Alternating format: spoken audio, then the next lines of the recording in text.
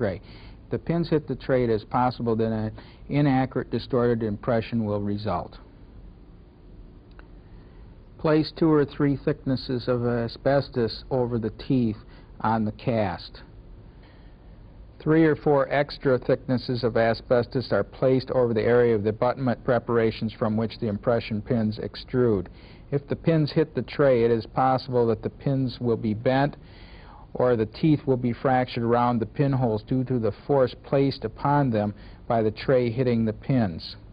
You note the extra thicknesses of asbestos in the anterior portion of the tray. Uh, the tray has been properly extended for by asbestos.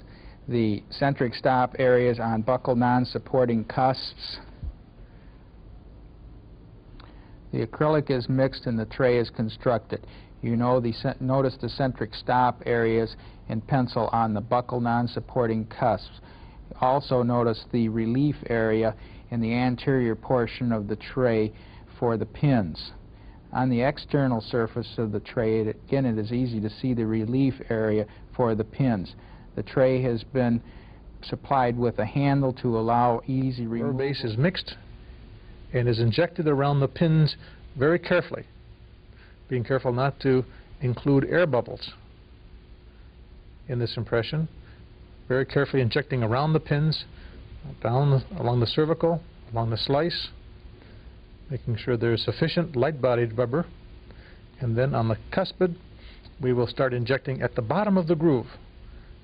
This is done in order not to, again, entrap air in the groove down along the cervical, around the pin, and then the mesial groove starting at the cervical, injecting upward, and covering the entire preparation with the light-bodied rubber-based material. When there is ample light-bodied material, then the pins are tapped to make sure they are seated all the way in the preparations. And then a tray with the heavy-bodied rubber is placed over this, carefully seated until it is seated on the stops, and this is allowed to set up. When the rubber has set up, the tray must be very carefully removed in the long axis of the pins. If they are bent or if they are torqued, they can fracture the very fragile uh, preparation. The pins will usually come out in the out of the impression and will remain in the prepared tooth.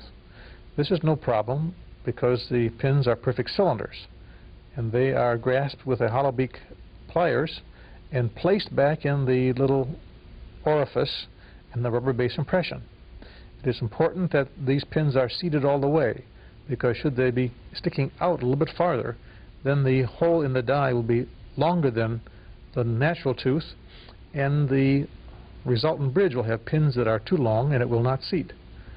So it's important to make sure these pins are in the proper hole and they are seated all the way. The cuspid is also checked and if all the pins are in the proper place and we've recorded all the details along the cervical and the impression, then we will silver plate the impression. Small amount of silver powder we burnish the silver powder into the die, making sure that we cover all of the areas that we desire to be plated. After we have thoroughly covered those areas we wish to be plated by burnishing it in, we blow off the excess material.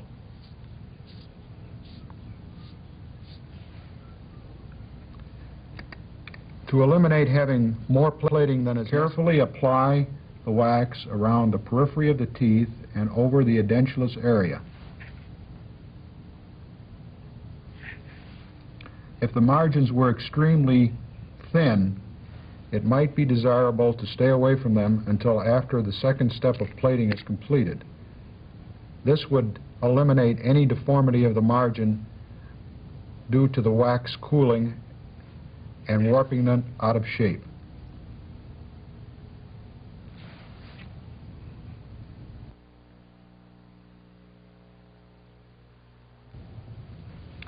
We've completed blocking out the areas that we don't desire to be plated, and we've left several tails up here that will engage the rubber, I mean the wire um, connectors.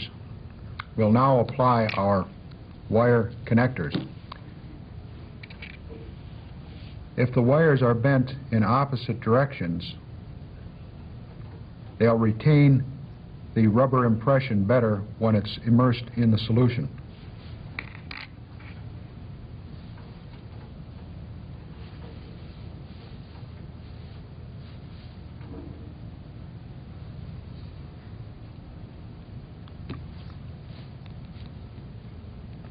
One wire goes in one direction, and the other wire is applied in the opposite direction. And this will lock them in place so that we can pick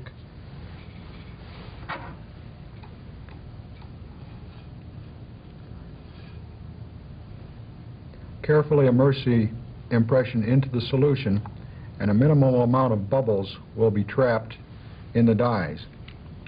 After it's immersed, take an eyedropper, fill it full of the solution, and carefully remove any bubbles which may have been trapped in the impressions.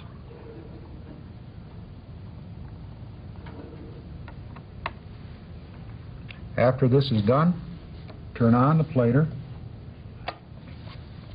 and with three dies, we'll set the milliamperage at 30 milliamperes. For each die or edentulous space that's to be plated, use 10 milliamperes. One hour initial plate, the impression is removed from the tank, thoroughly washed and dried. At this time, we can ex- inspect it to make sure that all of the areas are plating properly. The plate should be a milky white, as you see in the film. If there are any areas that are not plating properly, at this time we can go back and reapply some silver powder to these areas. We would also block out these leads to the wires at this time so that we don't get any excessive amount of plating. A little additional wax will insulate this area and permit us to be frugal with the amount of silver that we use.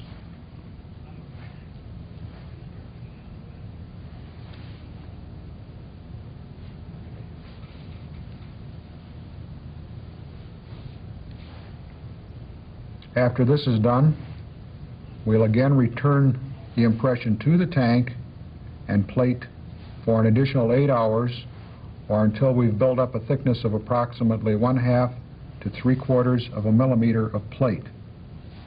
It's necessary to have this thickness, otherwise the silver plate has a tendency to fracture away from